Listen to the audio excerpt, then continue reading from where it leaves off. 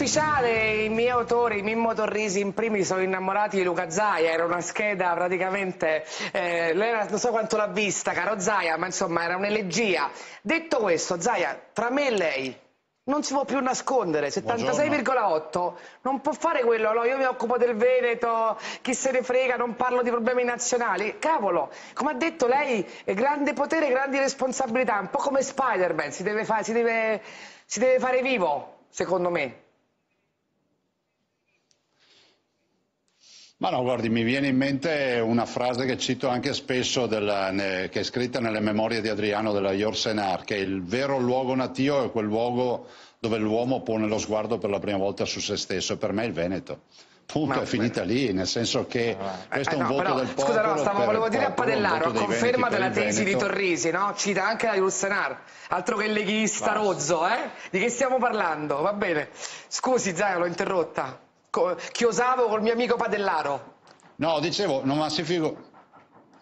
Eh, che saluto, buongiorno direttore. Buongiorno, buongiorno, eh, governatore. Dicevo,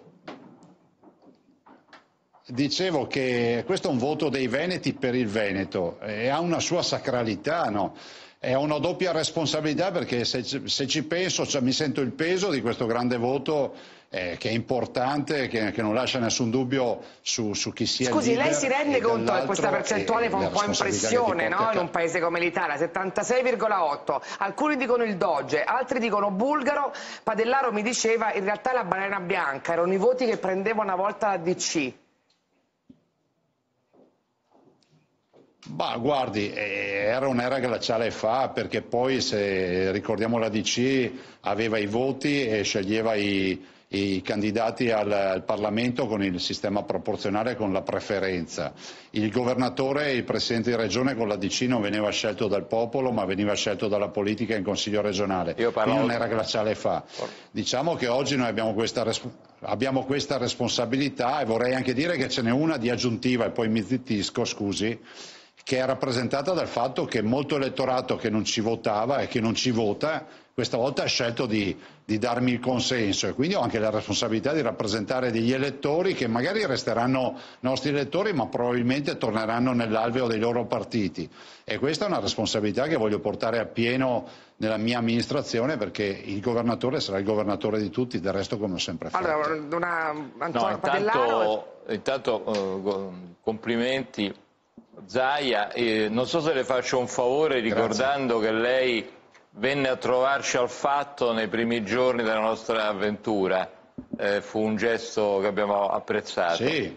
Eh, io parlavo, quando parlavamo della balena bianca con Mirta, parlavamo del blocco sociale, cioè c'è un Veneto che è sempre quello, anche se le generazioni passano, che è un, un, un Veneto solido, eh, che ha bisogno di concretezza e a questo proposito vorrei chiederle se lei è d'accordo sulla tesi, che poi sarebbe anche mm. dimostrata dai fatti, secondo la quale queste sono le lezioni del Covid che hanno, eh, che hanno premiato quei presidenti di regione che hanno saputo gestire, hanno saputo meglio. gestire meglio questa eh, disgrazia. Allora, Zai, prego, eh, manca merito del Covid perché vedo già Matteo Renzi e poi devo arrivare alla Camera da Renzi. Prego, Zaia. Ma guardi, io sono entrato in Covid il 21 febbraio che avevo già un consenso molto alto, del resto ne parlavate ad ogni piè sospinto di questo effetto veneto sulle elezioni eh, future regionali.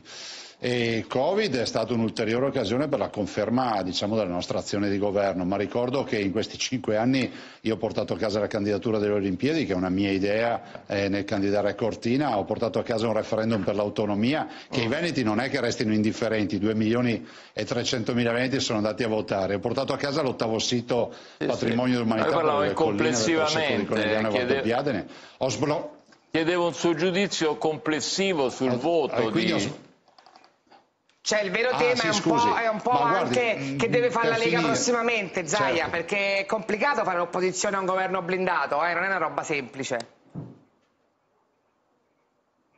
Ma eh, io, io, penso che sia fondamentale intanto non paragonare queste elezioni e dare a queste elezioni solo contenuti politici, perché forse non tutti se ne sono accorti, ma di fatto ormai con l'elezione diretta e il modello di comunicazione che c'è, del rapporto diretto con i cittadini, eh, io sono stato eletto nel 2010, non c'era modo di dechattare con, con, il cittadino. Oggi il cittadino ti scrive su Instagram o su Facebook e ti domanda dei tamponi, ti domanda dell'infrastruttura. Allora... Quindi eh, oggi la percezione del governatore è sempre più di quella di un grande sindaco. L'elezione diretta lo consacra ancora di più, quindi è inevitabile che forse le valutazioni politiche le lasciamo fare ad altri. Allora, senta Zaia, torni presto, dobbiamo parlare anche di un po' di prospettive. Adesso devo andare via.